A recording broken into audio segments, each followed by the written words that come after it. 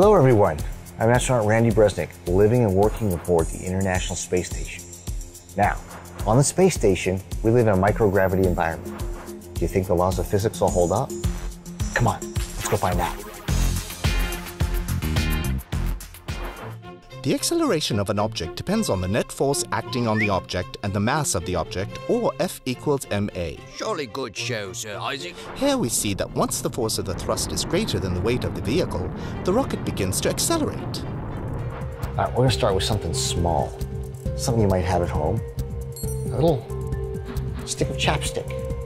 We'll go ahead and use our force, being our bungee cord here.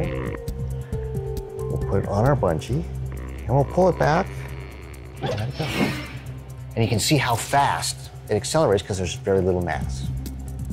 Next, we'll try a little spaceship. A little more massive, and you can feel that because as you move it, you can feel that the, the kind of the force, the extra force you have to push with your hand. So we'll put our spaceship on our launcher here, same spot. Notice it's flying a lot slower than that chapstick did. What we've seen is the same amount of force on a smaller, less massive object means acceleration is faster. Well, this is the biggest and most massive thing we have. So let's see how the acceleration is affected.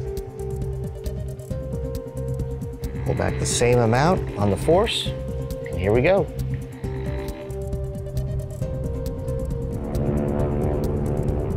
And there you have it, Newton's second law of motion in action. Thanks everybody for exploring a little physics with me today.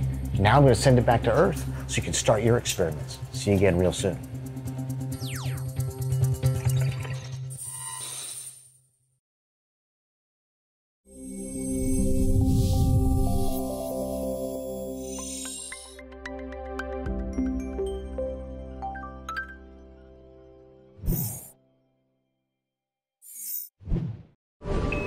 Subscribe for more space.